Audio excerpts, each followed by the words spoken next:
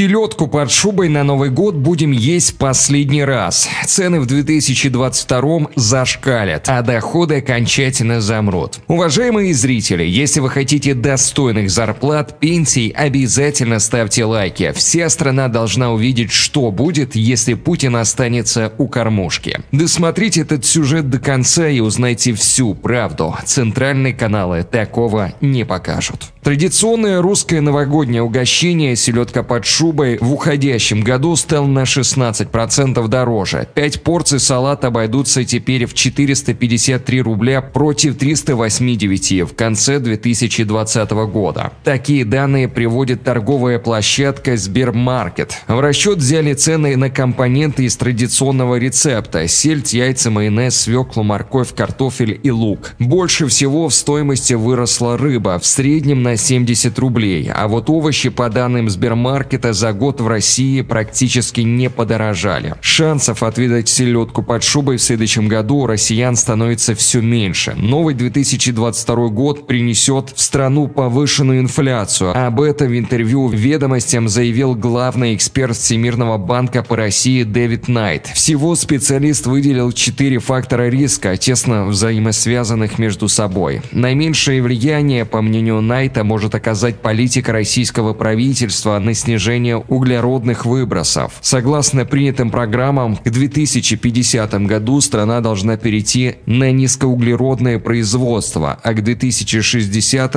ожидается достижение углеродной нейтральности. В общем, есть время все просчитать, продумать и хорошо подготовиться. Тем более, что далеко загадывать в нашей стране мало кто любит. Заметно большое влияние могут оказать новые международные санкции. И вот тут остается действительно гадать на кофейной гуще. С одной стороны, многие аналитики, в том числе и Дэвид Найт, оценивают вероятность новых санкций как низкую. Мол, уже ввели все чувствительные ограничения, какие только могли. С другой стороны, злые языки пророчат чуть ли не отключение от системы международных банковских платежей, SWIFT и полное закрытие границ. Возможно, так сгущает краски. Но эти угрозы в адрес Кремля раздаются каждый день, а в качестве повода может быть что угодно. Что более ощутимо простым россиянам, но также непредсказуемо, так это введение новых ограничений за развитие пандемии коронавируса. Распространение болезни пойдет на спад или наоборот, нас ждут новые еще более разрушительные волны COVID-19, а вместе с ними переполненные больницы, избыточная смертность, локдауны. Точного ответа на этот вопрос нет. И, конечно, фактором, который может оказать существенное влияние на инфляцию может стать разрыв производственных цепочек из-за тех же локдаунов и ограничений в связи с коронавирусом. И тут эксперт Всемирного банка тоже признается, что точных прогнозов нельзя делать, так как Россия очень большая и непредсказуемая. Зато в чем уважаемый аналитик уверен, так это в возможности высчитать с точностью до десятки процента те или иные экономические показатели в будущем. Например, рост ВВП России в следующем году ожидает в размере 2,5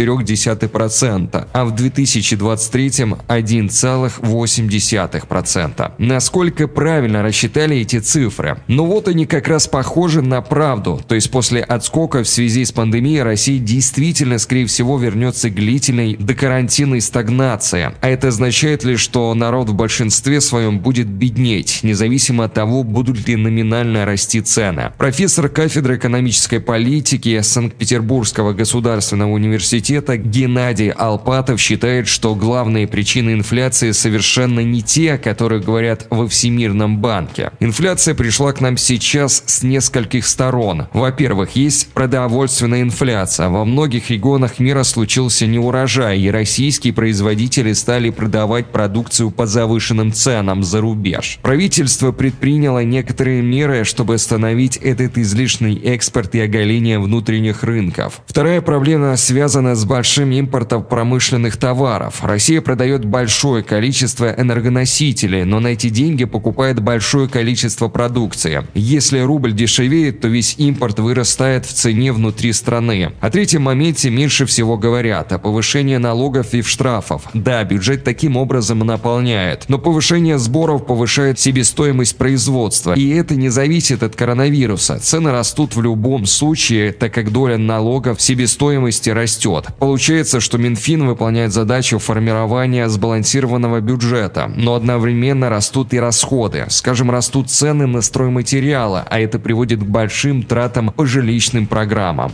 СП. То есть все дело в правильном госуправлении. Есть и просто ограниченные по времени факторы. Например, если в следующем году будут хорошие урожаи, то цены на продукты снизятся. Однократное повышение налогов приводит к длительной инфляции, но она не бесконечна. Влияет еще и ожидания. Когда все участники рынка ждут инфляции, то она затягивается. И тут нужна пропагандистская работа правительства, а также объективная статистическая информация, говорящая о сроках остановки роста инфляции. При этом за статистическими данными скрывается, что цены больше всего растут на товары первой необходимости. Цены на продукты питания за год вырастают больше 20%. Это сильно бьет по тем, у кого расходы по продовольствию составляют значительную часть затрат. Одновременно снижается уровень жизни бюджетников, так как им индексируют зарплату согласно официальным данным, а не фактическим.